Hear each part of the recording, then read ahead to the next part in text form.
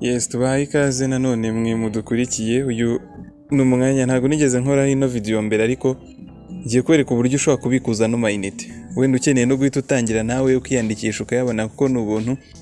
Bibutse ko ino ni platform yitwa flashout.io ni platform ifasha abantu kwiga online ndetse n'ibindi byinshi turi bubonemo. Ariko ikaba iri in partnership cyangwa se ifitanye imikoranire na ating na yo n'indi platform na yo bikora kimwe. Icyo ukora wowe uriyandikisha bakaguha amayinite ya magana atatu mu buryo bwa marketing yabo. Ukimara kwiyandikisha nyine urakomeza wenda ntabwo ndi bwerekane iyo process inyuma hano icyo ngiye kwerekana ni uburyo wakura hano amayinite kugira ngo unabone ko bishoboka wenda naho wabibonye ubone ko biri seriye ukeneye kwiyandikisha nawe ukayabona ntabwo ari ibintu bigoye n'ubundi. Urabona link hano muri description cyangwa se urebe comment ya mbere kuri kino kiganiro urahita ubonaho link wiyandikisha umaze gushyiramo email ndetse na password namaze kubishyiramo ngewe urakora hano kuri login. Utegereze gatoya ilodinge uraza hano kuri ino page atingi haranditse join atingi join atingi e-learning platform or invite your friend to in airtime. Iyi atingi ni platform ifasha abantu kwigira online amasomo agiye atandukanye. Uko wemvita abantu baguha airtime ndetse n'uwo wemvise bakamuha airtime. Hano njye namaze gutikinga ko bazajya banotifiya mu gihe hajeho task nshyashya wenda yo gukora. Ariko hano uje nk'hano kuri in airtime urabona join atingi learn new skills and boost your career with atingi ni kwiga ubumenyi bushyashya ndetse ukongera kariyeri yawe nyine ukabasha kuyigeza ku yindi level bitewe n'ayo mahugurwa ugenda ubona unyuze kuri atingi iyo free e-learning platform. Ino ni e-learning platform ni platform yo kwigiraho y'ubuntu. Receive course certificates in technology agriculture. Hano uriga bakaguha certificate y'isomo wize haba muri tekinoloji mu buhinzi mu bukerarugendo muri business ndetse no mu nganda zigiye zitandukanye. Please you can in airtime with the flash out if you register for a thing or invite your friend. Hiyongeyeho ko ushobora kubona mayinite kuri no flash out twari turiho ni na platform tukiriho n'ubundi twavuga green partnership na ating mu gihe utangiye cyangwa se wemvise bagenzi bawe. Aha twari no nko kurebaho nyine overview yaho. Aha nkoze back hanyuma nza hano kuri airtime. Kuri account yanjye urabona ko hariho amafaranga magana abiri. Hano hariho magana atanu maze kuyabikuza kano kanya. Aya ni magana atatu inshuro ebyiri bampaye nanjye nemvisa abantu.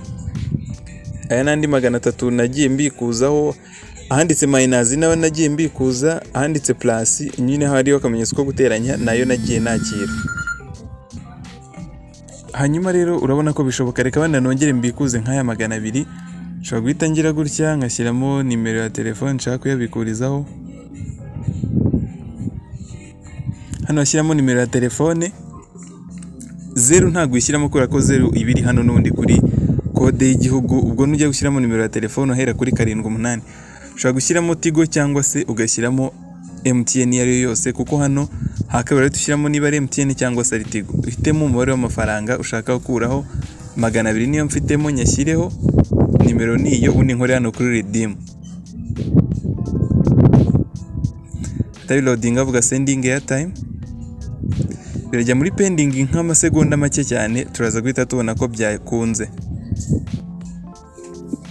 Hano birapending umwanya mutoya rwose utari munini. Ubundi airtime zawe zihite zikugeraho kuri simukadi iyo ari yo yose waba washyizemo. Haba airtel haba tigo haba mtn urabona ko ibintu biri mu buryo neza kandi byizewe. Hano nari nkoze refresh urabona ko amayinite yamaze kugeraho. Tayari yose yamaze kugera kuri simukadi nakoresheje.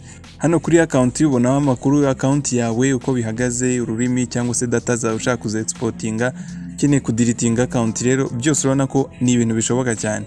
Njye hano bagiye bayampa ndebye muri sms wenda nuko ntayohereje kuri simukadi niyo ukoreshamo hano ariko hari nka nk'ubwo nigeze kuyoherezaho wenda. Kandebe.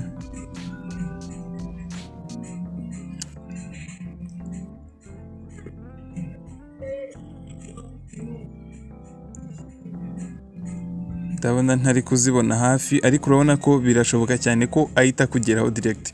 Ushobora nawe kwiyandikisha ukoresheje link iri hano muri description nawe ntucikanwe n'aya mahirwe.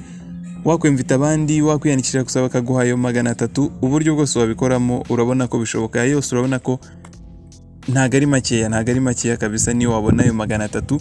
Birahagije turabashimira mwese twabanye. Navuga ngo ugerageze amahirwe aho bikuyobera. Uranyandikira kuri nimero iri muri description tugufashe.